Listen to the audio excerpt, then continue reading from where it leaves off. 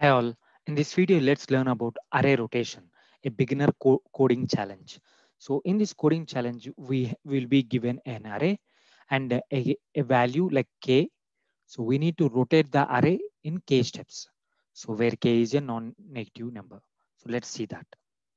So to understand that, so the input would be like this, for example. So this is an array we have and k is 3. For example, we want to rotate this array three times. I mean three steps, three rotations. So what does the rotation of an array mean? So we have last number element as a 7. It needs to come to the first like this. So 7 came to the first, last element came to the first. It means we have rotated the array by one step. So later on, if the k value is 2, then we need to take the sixth, the last element also to the first of the array, 6. If the k's value is 3, it means we need to take the three values to the beginning. So that is what happened. Now we have taken the 5 also to the beginning step. So the, if the input array is like this and there are these many steps, the output should be like this. We need to rotate these many steps by adding, by removing these elements and keeping the elements to the beginning of the array. So there may be a number of solutions to solve this problem. I will be showing you two approaches. This is again, I'm saying this is only for the beginner level. Okay, let's start this. Yep. Uh, let me show you the first approach. So here my approach would be like, I will pop the element here. I mean, I will remove the element of the end and I will try to add that at the beginning. So in that way, we can achieve these steps and we can achieve the output array rotation. So let's start that. So I'm, I will be taking an array rotation function. So input should be like array and number of steps.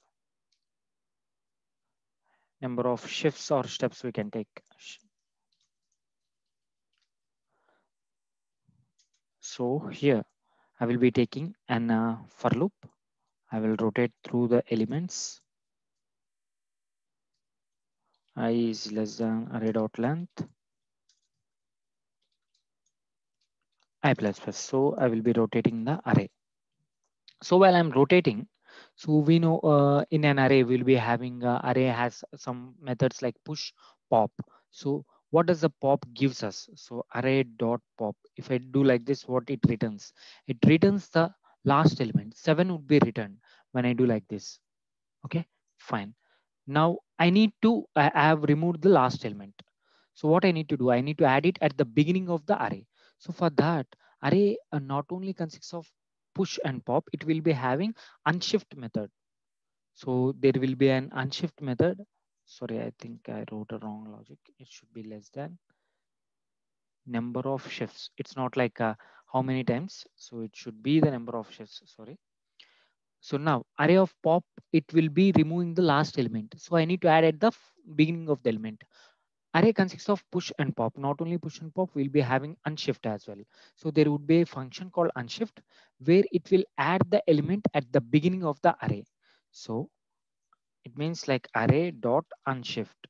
So if I use this array dot unshift, we can add some element here if I keep some element here like one, it would be added at the beginning of the array. So here I will be keeping array dot pop. So this line. So now what is happening? I'm uh, I wrote a loop. I'm looping this array.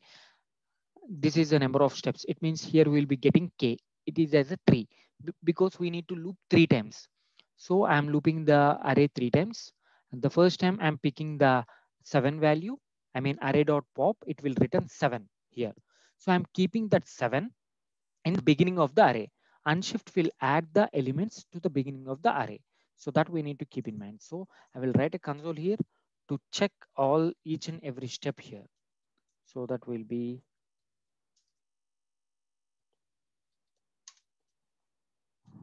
so i plus one. So just to note to make sure the steps. So I will print the array in each and every step, we can see what is the array value. So that's it. So this is the only line we need to write to make this array rotation. We need to pop the element and we need to add it at the beginning. So let's see the output. So see here in the first step, we have added, we have rotated seven to the first. In the second step, step we have taken six. We have popped the six and we have unshifted it to the beginning of the array. In the third step, we have popped this fifth element and we have unshifted it, to the beginning of the array. So in these three steps, we could able to rotate and rotate the array. So this is the one of the best and uh, beginner level solution. So I will uh, try to explain you the second approach.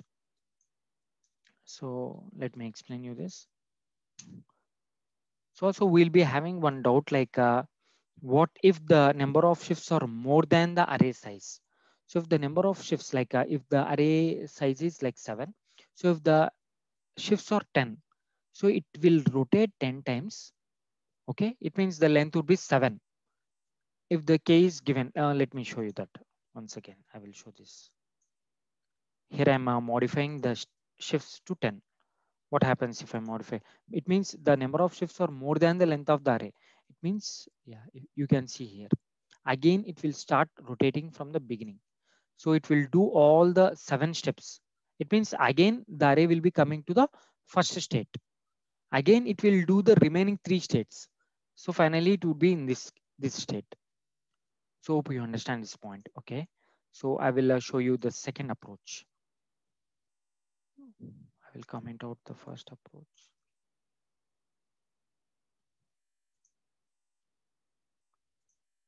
So in the second approach, we'll learn something new regarding splice method. So in this second approach, uh, what I want to do is, firstly, I will uh, delete number of elements.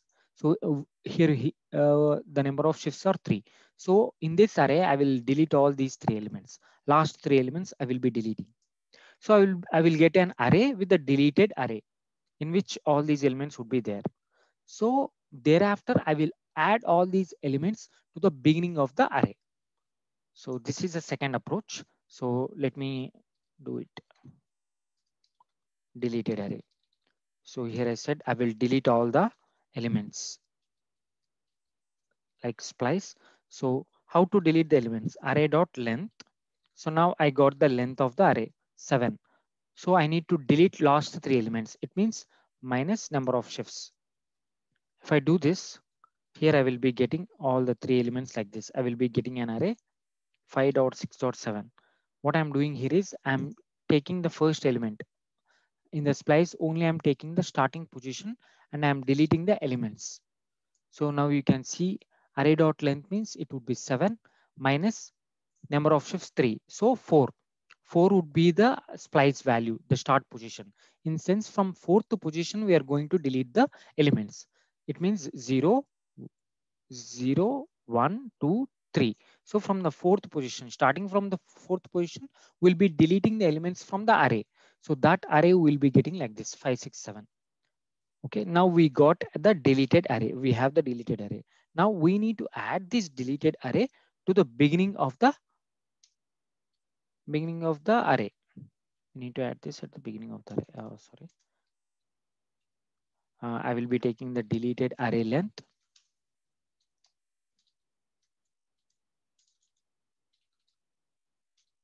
Okay, now I need to loop. I need to take this array and I will be adding each and element to the beginning of the array. Let me do that. So for this, we can use the same splice method. Usually we think splice method will be using only for the deletion operation, but this splice method can also be used for the addition uh, operation. So it would be work as the same as unshift. So let me show how it works as unshift. So I is a position where to add. The second parameter is the delete. How many positions should be deleted? Here I am giving zero as a position. So it will not delete any of the elements. So coming to the third parameter, you can add the elements. So this is the third parameter we need to understand. We'll be adding the elements and I'm giving deleted array i. So in this case, it will start zero. It means it will start position is zero. It will not delete anything, the second parameter, and it will add this value to the first array, first element of the array. It means uh, it will be like this. So splice, first one would be the position zero add at zero position, don't delete anything and add number five at the beginning.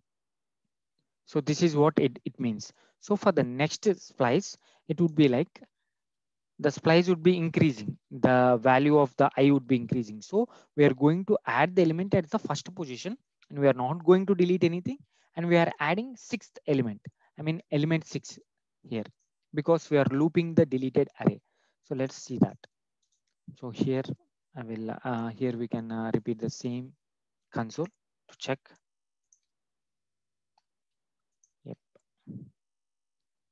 See here also we could able to get the same result. So these are the two different approaches. Well, the the best part of splice here is we, we need to understand the third parameter is to add the elements from the starting position. And here I'm giving zero because we are not going to delete any of the elements. So these are the two approaches. So hope you understand the video. If you have any doubts or any clarity needed, please comment below the video on uh, any of the JavaScript concepts. So I will try to make a video on that. So please subscribe for the more videos. Thanks for watching.